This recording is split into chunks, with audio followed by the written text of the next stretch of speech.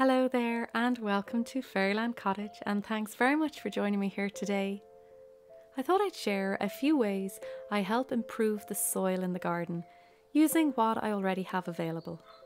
So at the moment, I'm heading out to get a few wood chips, and we got a little surprise when we were on our way. And I just thought these little baby pheasants were too cute not to include in the video. It's the first time I have ever seen baby pheasants.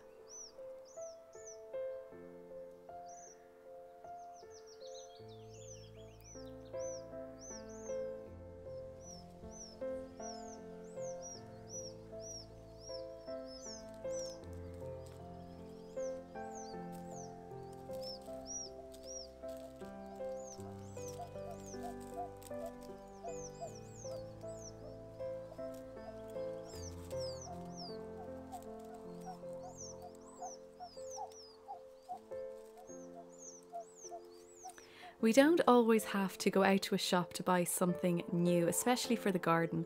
There's so much around us that can be utilised for free, and something that would be usually thrown away can be used in another capacity somewhere else.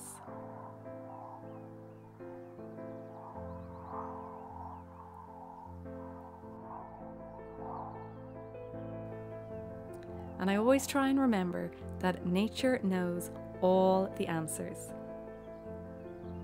and whatever is good for nature is also good for us humans.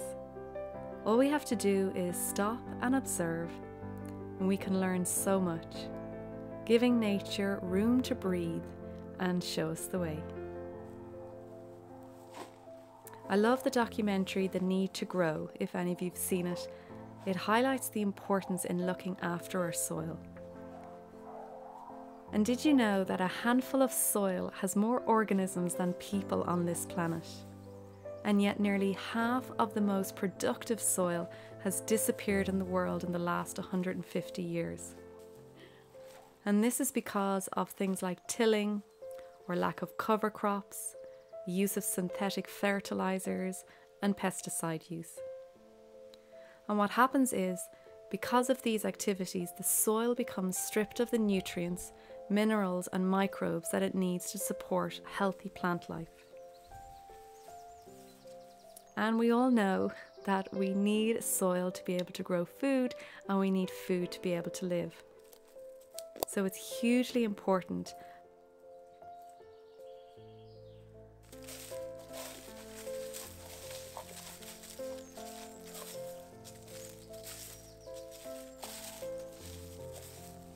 The way I think of it is that I'm working with nature rather than against it.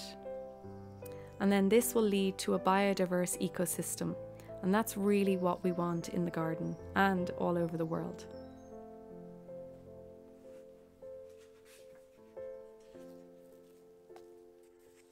So, an easy way to help improve the soil is by using cardboard.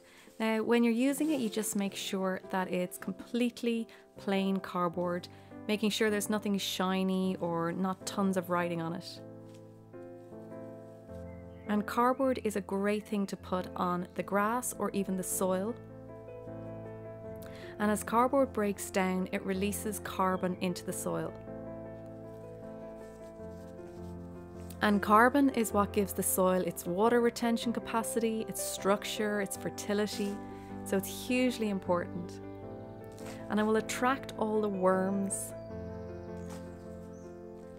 and then on top, what you can put on is either some compost, but I was putting on some wood chips.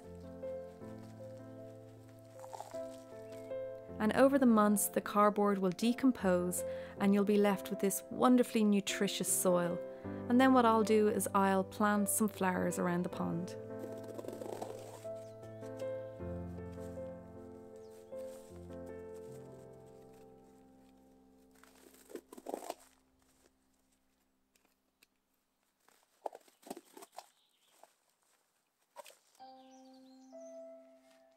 And you can use this method before planting vegetables or plants or flowers. So it's a great way of getting your soil ready. It's simple and it's slow.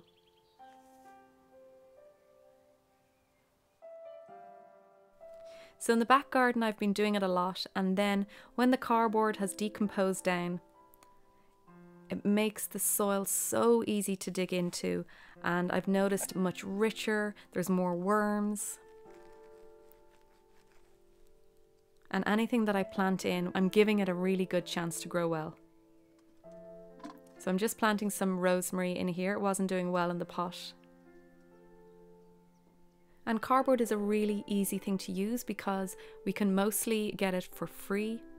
You can even ask in recycling centres, they can give you some. I'm able to get it in work.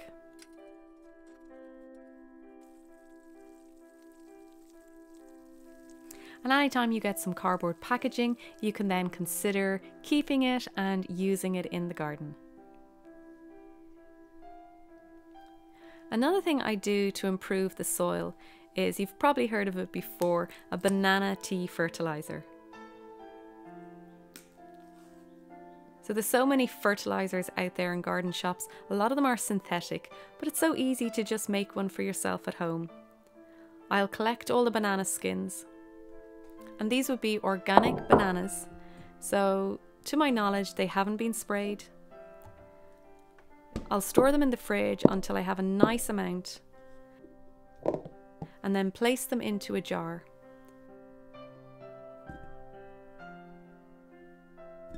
All you do is cover it with water up above all the banana skins and just leave it for a week.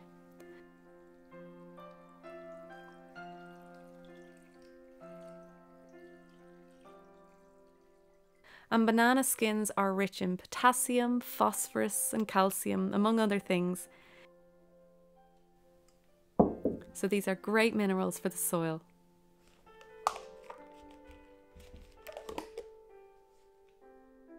And a week later, you've got this gorgeous, nutritious juice.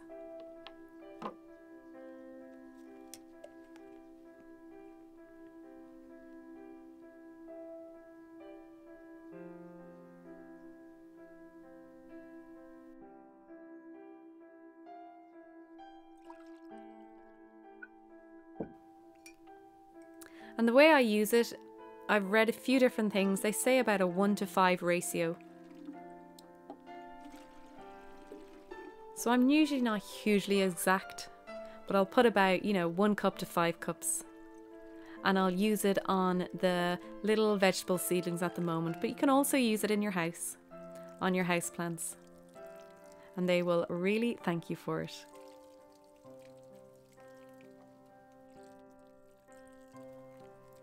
Another thing I do to help improve the soil in the garden is use food scraps directly into the soil.